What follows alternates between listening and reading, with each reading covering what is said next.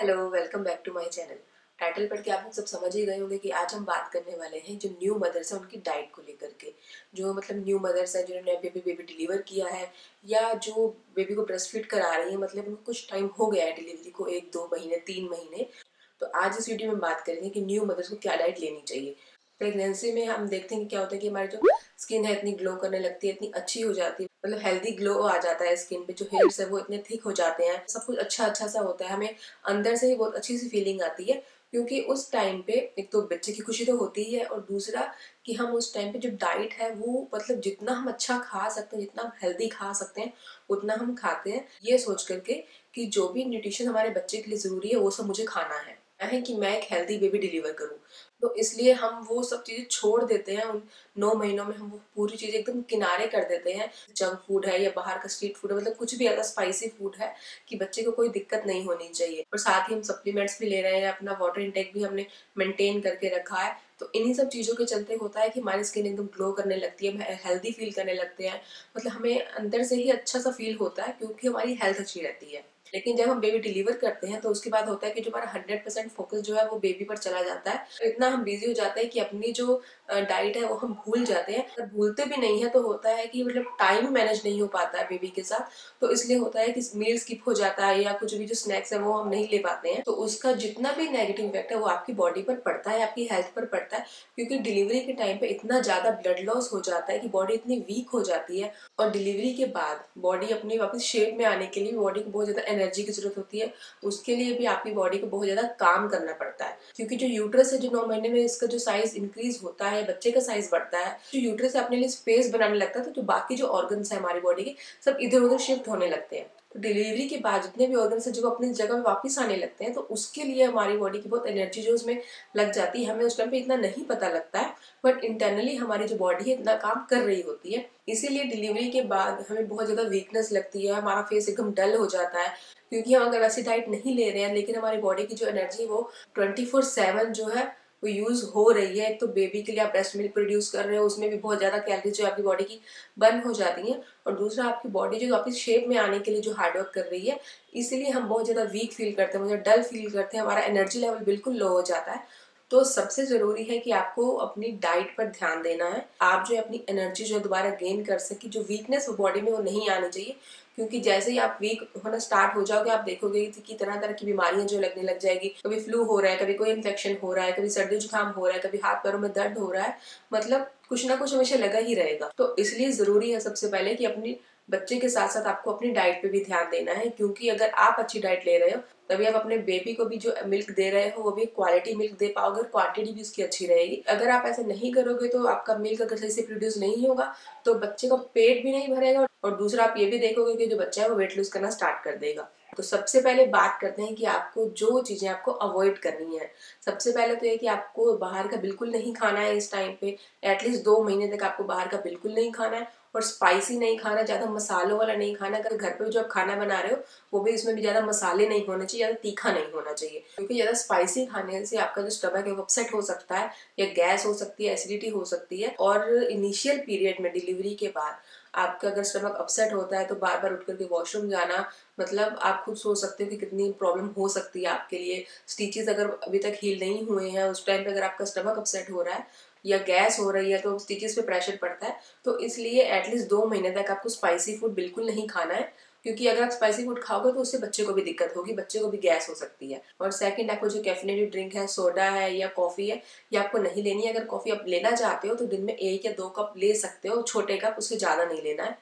और थर्ड आपको कोई भी पैकेज फ़ूड नहीं खाना है या रेडी टू ईट आइटम्स जो आते हैं, वो नहीं खाना है। ट्राई कीजिए, आप घर पर भी हमेशा फ्रेश ही खाना खाएँ। करते हैं डाइट की कि आपको क्या डाइट लेनी है?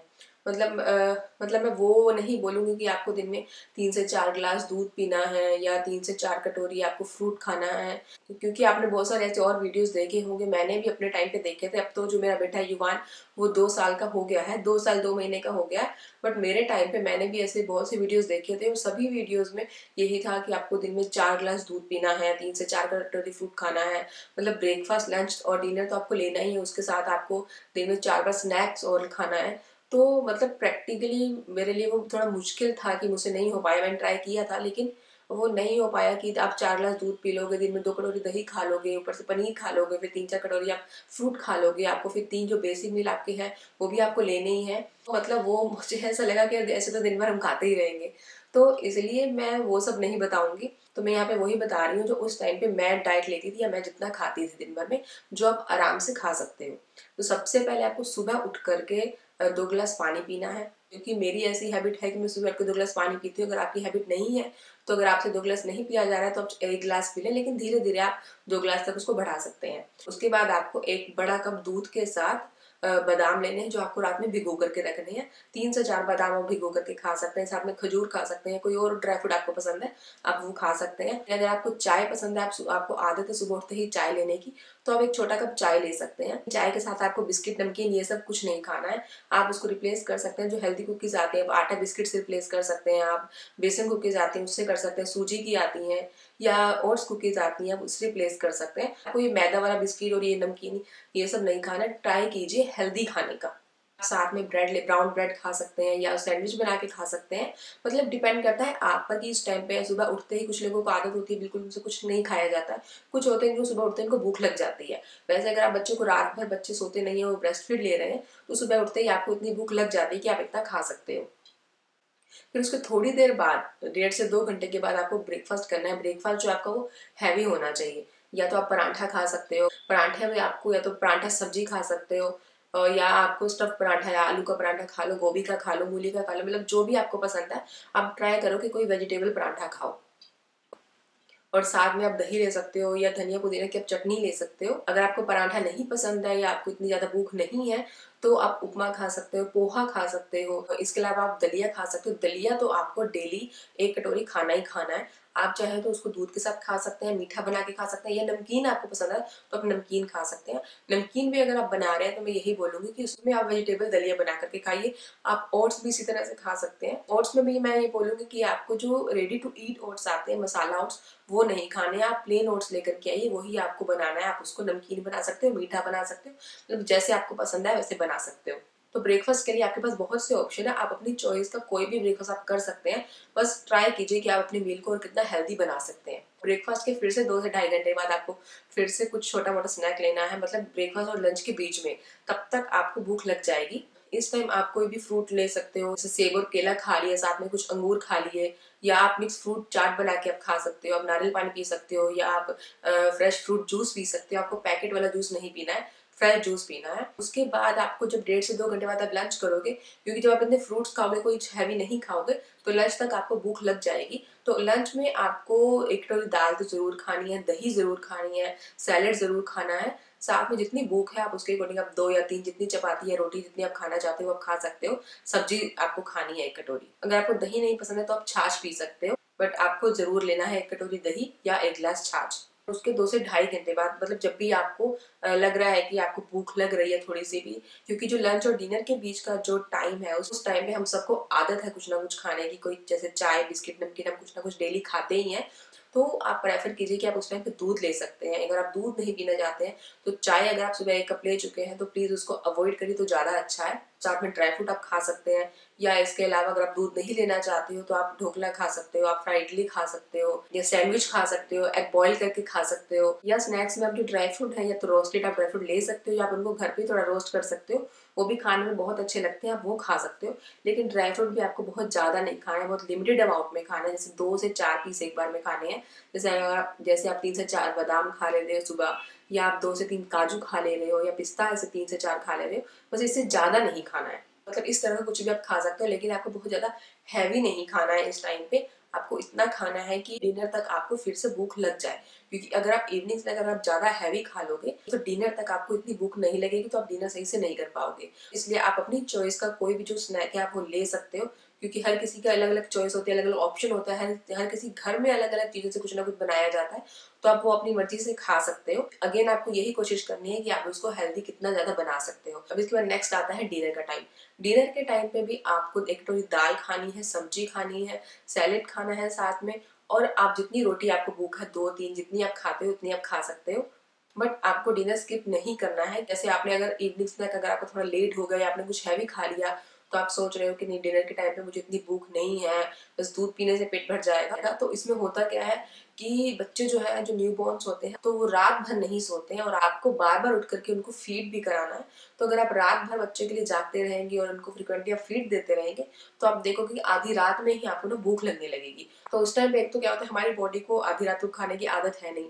और दूसरा हम सोचते हैं कि दूसरों को डिस्टर्ब भी नहीं करना चाह रहे हैं तो हम उस टाइम पे खाना अवॉइड कर देते हैं कि हाँ कुछ नहीं होता, सुबह उठकर खा लेंगे, किसी को डिस्टर्ब नहीं करना चाह रहे हो, या बच्चा अगर उसको फ़ीड दे रहे हो तो आप उठ नहीं पा रहे हो। इसलिए आपको जो डिनर है वो स्किप नहीं करना है अगर आपका अगर आपको बहुत ज़्यादा भूख नहीं है तो आप थोड़ा लेट डिनर कर सकते हैं या आप तीन की बजाय एक रोटी खा सकते हैं, दो रोटी खा सकते हैं या अपने पास रात में कुछ ऐसा आप रख के सोइए कि अगर आप में आपको भूख लगे तो आप उठा करके खा सकते हो। आपको भूखा बिल्कुल नहीं रहना है। क्योंकि भूखा रहने से जो आपकी जो ब्रेस्ट मिल्क सप्लाई है वो इफ़ेक्ट होगी। देखोगे कि वो तुरंत कम होने लगती है। तो इसलिए ट्राई कीजिए कि जो आप अपना खाना है, वो आप थोड़ा टाइम से खाइए, क्योंकि क्योंकि मुझे पता है कि छोटे बच्चों के साथ टाइम मैनेज करना सबसे बड़ी प्रॉब्लम है। मतलब जितनी मर्ज़ी कोशिश कर लो, आप दिन रात लगे रहो, लेकिन टाइम मैनेज होता ही नहीं है। अगर एक दिन कर लिया, दो दिन कर लिया, तीसरे दिन आप देखोगे कि फिर वैसे नहीं हो पा रहा है। उसके बाद रात को सोने से पहले आपको एक कप दूध पीना है।